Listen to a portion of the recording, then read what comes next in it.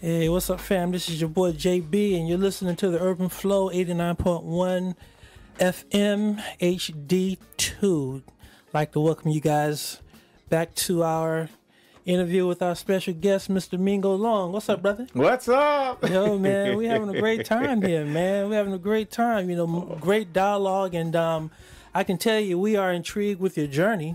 Mm-hmm. You know, we're very intrigued with your journey, man, because I think that all of us at some point in time um, have the aspiration of wanting to act Yeah. or wanting to be a part of theater or, you know, wanting to be a part of the big screen and those kind of things, right? So have you ever had an opportunity to to be a part of the big screen? Have you or do you have that aspiration?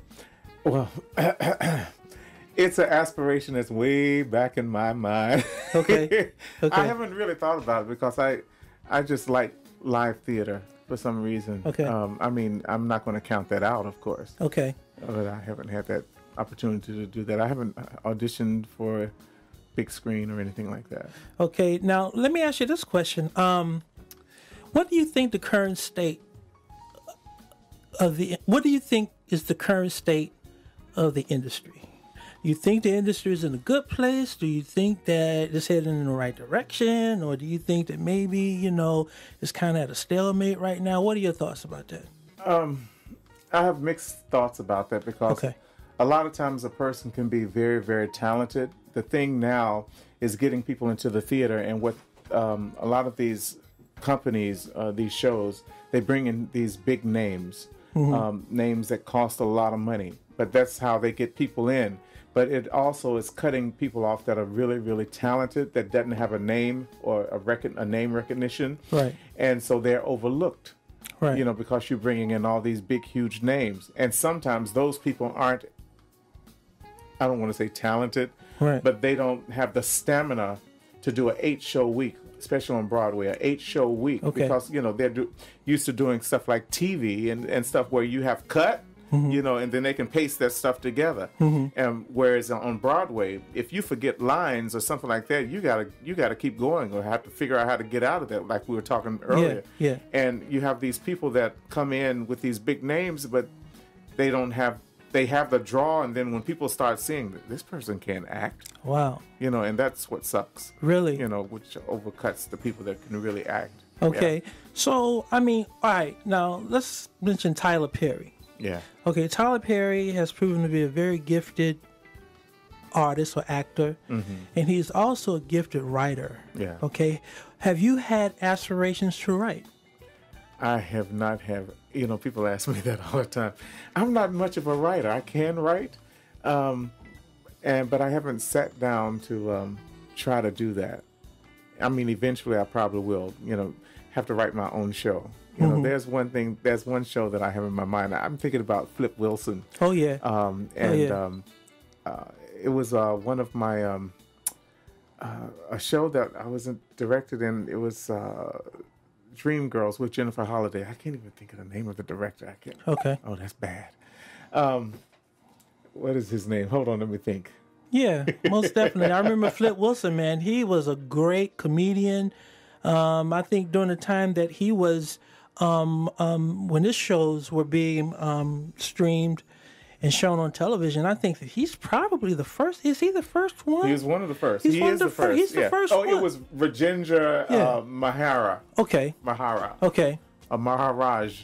Uh, he's the one that mentioned to me about Flip Wilson. Yeah, Flip Wilson was the first one, African American that is, Yeah. to to do a show like that on television. Exactly. And I worked with his wife or his uh, ex-wife, Mabel Robinson, out of Okay. a School of the Arts in North Carolina, uh, Winston-Salem, doing Winston-Salem. the Black Theater Festival. Wonderful. Yeah. Wonderful.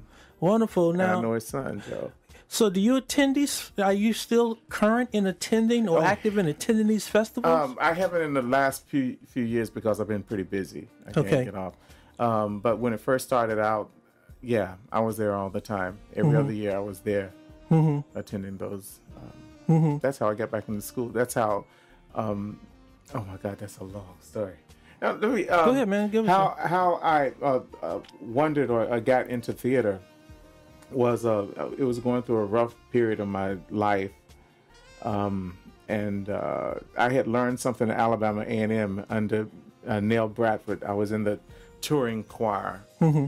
And they had taught me the um, God's trombones, uh, the Yeah, yeah. Creation by James Weldon Johnson, Yeah, uh. and that's how I used to raise money. And and so and I started doing that in Negro dialect, and um, and uh, somebody told me about auditions for the Wiz at North Carolina A&T State University, and I had no idea what an audition was at the time, and so um, um, I ended up going there, and the only thing I knew was the creation. Mm-hmm. Now, the creation is like close to 15 minutes long, mm-hmm. and so I'm sorry, I'm gonna do a little bit. Mm-hmm. and God stepped out on space, and He looked around and He said, "I'm lonely." I'll make me a world and far as the eye of God could see. Mm-hmm. Darkness covered everything. Yes. Blacker than a hundred midnights down in the cypress swamp. And God smiled. Right. And the light broke. And the Yeah. darkness had rolled up on one side. Yeah. And the night stood a shining on the other. And God said, That's good. Okay, so I started doing Right. that thing. And I did the whole thing. They didn't stop me. Right. And next thing you know, I was cast in The Wiz as the Scarecrow Okay. after the read through that next day, um, Miss Day and I remember she said, "Mingo, can you um, uh, go downstage and, and turn a quarter turn to the right?" And I just stood there. I had no idea what she was talking about. Right. And she said it again. Mingo, go downstairs, uh, downstage, turn a quarter turn to the right. And I said, and then she said, Mingo, you know what that is? I said, uh, no, ma'am. She said, you've had theater, right? I said, no, ma'am. Right. They thought that I was an actor. I mean, this a professional actor that came. And, and Right. um, so uh, they pulled uh, everybody together and they worked with, with me through that whole thing and um, got through the whole show, did everything. And then through the Black Theater Festival, that's when they offered me a full ride or full scholarship, Okay. or everything paid. Wow. And uh, that's how it started. That's how it my started. journey started. Isn't that something, Yeah. man? I tell you, it's amazing. Yo, it's amazing how God works, man. Yeah, and he, he opens up. in- yeah. He opens up those doors and those opportunities, man. Mysterious. I tell you. So, how many African Americans um, are involved in theater? Oh, there's a lot. But I mean, but the thing is, we all know each other. Okay. So we all, you know, we have certain types. There are certain types, and I see them like whenever I go in auditions, I say, okay, I know this person's going to be there, and we're all auditioning for the auditioning for the same role. And the good thing about like what Hamilton that's coming that's in is, um, you know, they're using African Americans, um, and that's the good thing because now it's a lot of non-traditional casting. That is not just the roles just for white people. If it's Shakespeare, they're going to use a black person now. Okay. You know, so that that's the good thing that's opening up for us. You know. Okay. Um, and Hamilton has helped doing a, lot of that because you know we're playing presidents. Okay.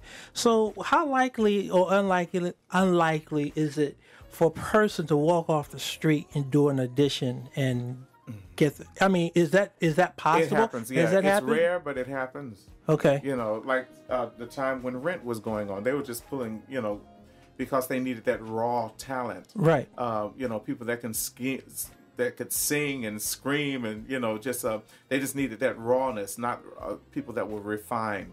Right. And there were people that were just walking in, and you still find that now. Okay. You know, but the hard thing about that is now you need an agent, or you have to get in uh, to the audition room, and they have um, uh, non-union and union. Okay. And so what ends up doing is they will see all the union first before they see those non-union people, and then because the time is late, they would have to tell them to come back another time. Right. It's the same thing over and over. Same thing over and over Yeah. and over But and see, over. that's how. Jennifer Holliday made it. Really? You know, in Dreamgirls, she was uh, they somebody saw her in a church. Mm-hmm. You know, she wasn't an actress. Well, I tell you, man, you know your your your experiences ha- has been uh, uh, very very exciting. Yes, it is. Very exciting. I mean, wow. I mean, for a young person who's aspiring to become an actor, I mean, what advice? I mean, could you give them?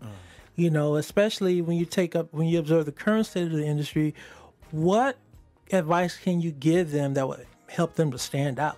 Well, it has to be something that you love. Um, a, a lot of times, parents will see that in their children.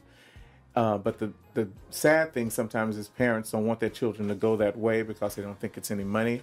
But if they see that child is uh, talented, that can sing or dance, or you know that there's something there that's just different with that child, they should invest and try to get that child into classes um, and to see if there's a talent there. Just, just like um, this uh, Simone Biles, that gymnast. Yeah, yeah, yeah, yeah. Oh my God. you know. But she, you know, she started late in her life. But look at her now. Look at her now. You know. Um, so it's it's it's just that thing. You have to see if that that child can let you know if they have that talent. You know, because they like to uh, sing in church or, you know, they're outspoken. You know, and that energy that they have, it has to be redirected uh, directed to something. You know, and it might be theater. It might be theater. And you just let them try out and audition for things. So have you thought about going to the classroom and to teach? Yeah. Uh, well, you know, I am qualified to teach. Yeah, I know. That's what I'm saying. Yeah. yeah. And you know what? I uh, my sister's been trying to get me to teach. You know, and I thought about it. I don't know if I'm there yet because when mm-hmm. I was in grad school, I hated putting those those programs together. Mm-hmm. I forgot what it, you know, writing a synopsis and all. I hated that stuff. Mm-hmm. You know, I could teach theater, yeah, um, but when it comes to writing that, I can't even think of the name of that thing. but um, I I plan on maybe years down um, doing that. But who knows? Who knows what happened?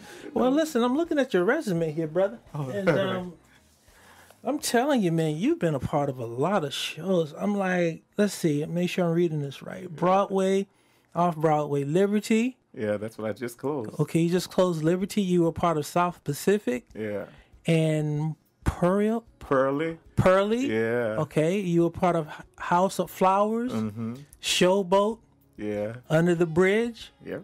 The Robber, Bridegroom, Mm-hmm. Empire, Happy Elf. Okay, those are Broadway, off Broadway slash off Broadway, and then national tours.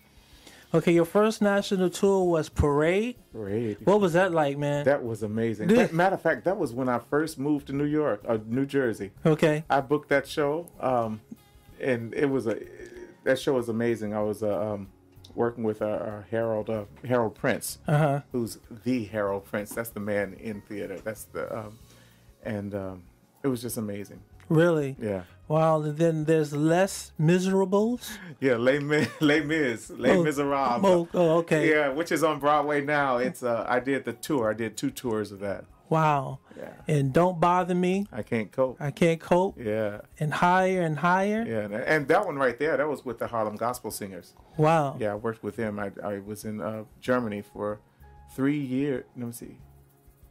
It was like six months for three years. Yeah. I mean, Mingo, I mean, you you you are uh you're a veteran, man. you you brother, you're a veteran, man. I tell you, boy, this resume is very you know it's very impressive.